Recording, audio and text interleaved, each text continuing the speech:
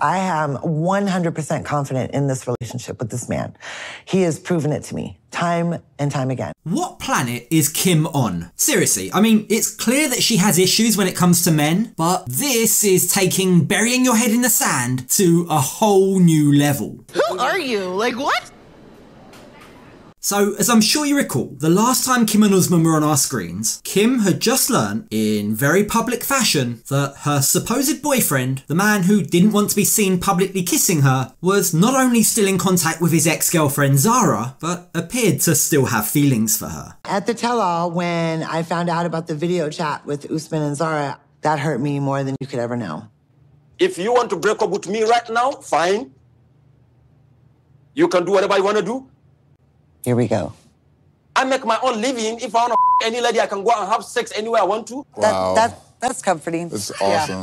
Yeah, yeah, Yeah, that's yeah. true. But that's Yeah. true. That's the reality because you are not here, Kimbali. You are not here, Kimbali. So, fast forward to the present day. Given that that was the last we heard about Kim and Usman's relationship, imagine everyone's surprise, including her best friends, when Kim drops this bombshell.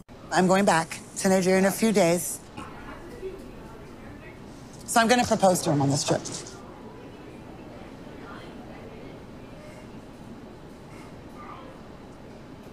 Now, by Kim's own admission, she's got a history of poor judgment and bad relationships. But sadly, it doesn't appear as though she's learnt her lesson. And unsurprisingly, her friends are very concerned. you know how protective we are of you because you have been in some really relationships where you didn't get treated well. Why and do you was think we're so protective of you then? So this is our job. So then we ask the question. I was married for 20 years. It was bad though, really bad. After that, I said I was never going to get married, never fall in love, just go and bang somebody out every once in a while. And then I met Usman. Ah, yes, Usman. aka SojaBoy, international superstar, King of Africa. Her toy boy Nigerian prince, who claims he's the king of Africa and has a track record of marrying older American ladies. Good choice, Kim, good choice. Oh my god, this is funny. So here's a million dollar question. If the last time we saw them on our screens, their relationship looked on very shaky ground, but now Kim's about to propose, what the hell happened in between? Kim, can you fill in the gaps? he called me and just kept apologizing and saying he was sorry. And then I really thought about it and I was like, I love this man. Like, I want to find out what our future holds. So, on a quest to find out what their future holds, Kim travelled to Nigeria where Usman gave her the time of her life. Love you. Love you. He treated me like a total queen. And now I am 100% confident in this relationship with this man. He has proven it to me time and time again. Or as he says, time without number. Um, okay, if you say so, Kim, but someone who criticises your appearance and gives you self confidence issues isn't treating you like a queen. Do y'all notice anything different? Ooh, I see. Because remember I was telling you when I was in Nigeria that Usman made that comment about my teeth were yellow? Well, You you got it done because of that? kinda. Either way, with her new whitened teeth and a new sense of confidence in her relationship, Kim reveals that she's going to propose to Usman. The thing is, her friends are left questioning whether Kim has actually thought this through properly. Last time we talked, like you mentioned it that he does want kids. So Obviously, I can't have children.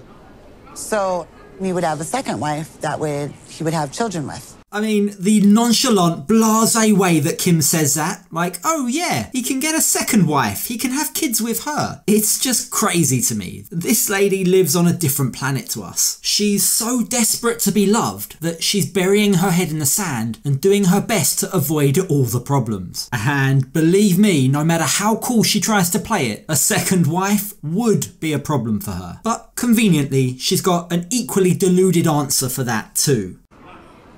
I know it sounds crazy, but like women there, they're like brought up to do this. You know what I mean?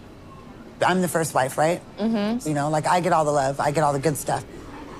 Sure, yeah. So women in Nigeria are brought up to be second wives, Kim? Is that what you're saying? And more to the point, what's this deluded attitude that she'd still be Queen Bee? She'd be wife number one, the one with all the love. Like, come on. But it gets even better. This was a part that really convinced me Kim has totally lost the plot. If he gets that K1, does he get to bring those kids over No. with him? Why not? They're not going to come live with But me. why wouldn't But he what, want but wouldn't he want his kids here? Because that's just not how it is there. Like, I've read the Islamic law. Who are you? Like what? Oh, no, no, no, those kids aren't gonna live with me. The way she said that, that right there, that's what she's really thinking. Not this whole I'm so cool with it, it's okay vibe that she's trying to give off. I'm not buying it, Kim. She isn't cool with it, just like most people wouldn't be. But her desperation to cling on to Usman, like he's some kind of prize, has literally made her lose her mind. Even when she talks about how she's given the idea of a second wife and kids some thought, and how it keeps her up at night, notice how she doesn't finish her sentence. She just kind of reverts back to how great Usman is. Don't think I don't lay in bed and I have these thoughts like, what am I going to do when he has kids? Like, what's my role with these kids? I do have these questions, but I feel like I get so defensive because it's like, I know the man, Usman. I know the man that makes me so happy. So tell us what your role with these kids would be, Kim. By my understanding, you just want them out of sight, out of mind. Keep wife number two and the kids in Nigeria, while in your fantasy land, Usman stays in the US with you. And as we've seen Kim do before multiple times, when people who care about her try to point out to her that her way of thinking is flawed, she gets very defensive and storms off, again burying her head in the sand.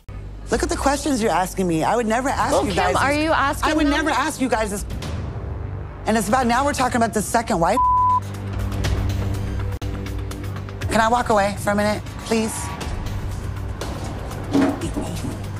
She takes her friend's genuine concern, very legitimate questions, as a personal attack. But it's not an attack. It's just her friends looking out for her. And it sounds to me like she needs someone to look out for her. Because when she says stuff like this, it just proves to me that she's living in a fairy tale world. I know how I feel about him. Why can't that just be enough?